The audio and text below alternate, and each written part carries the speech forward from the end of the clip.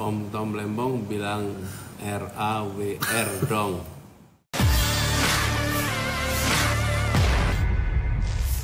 Kokapten tim Amin, Tom Lembong menjadi sorotan publik seusai namanya disebut-sebut Gibran Raka Buming Raka dalam debat keempat pada Minggu, 21.1 silam.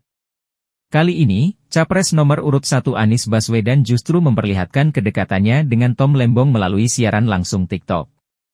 Dalam live tersebut, Tom Lembong membahas soal singkatan hingga keduanya tertawa terbahak. Adapun live itu dilakukan di akun TikTok Anies Baswedan pada Senin, 22.1.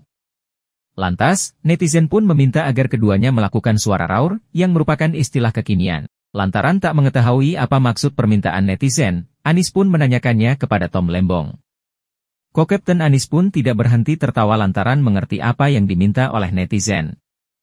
Masih dengan menahan tawa, Tom Lembong menjelaskan bahwa raur merupakan suara menirukan macan. Keduanya pun mencoba menirukan suara macan yang disambut dengan gelak tawa. Bahkan wajah Tom Lembong memerah hingga mengaku tak sanggup lagi menirukan suara macan. Lanjut Anis, dirinya mengira Raur merupakan sebuah singkatan lantaran ditulis dengan huruf besar. Tom Lembong pun menimpali dengan mengatakan Raur tidaklah sama dengan SGY, State of the Global Islamic Economy. Sementara singkatan SGY sendiri melekat dengan Gibran lantaran digunakan saat debat Capres-Cawapres kedua. Terlebih saat debat itu, Cawapres Cak Imin tak mengetahui singkatan dari SGY. Di satu sisi, momen Tom Lembong dan Anis menuruti permintaan netizen soal Raur menjadi trending topik di akun X. Yes, ini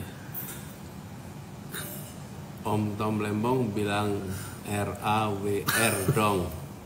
Apa tuh? Itu kayak gimana ya? Uh, kayak mac apa uh, suara singa, suara macan. Oh, R O W O R tuh gitu tuh. Roar, roar. Roaring. Oh, Nggak sanggup aku, nggak sanggup, maaf. Oke. Dikira ini singkatan apa itu? Huruf besar semua. R A W R kayak S G I E gitu ya. Eh, apa? Nggak nggak itu kayak Download Tribun X sekarang. Menghadirkan lokal menjadi Indonesia.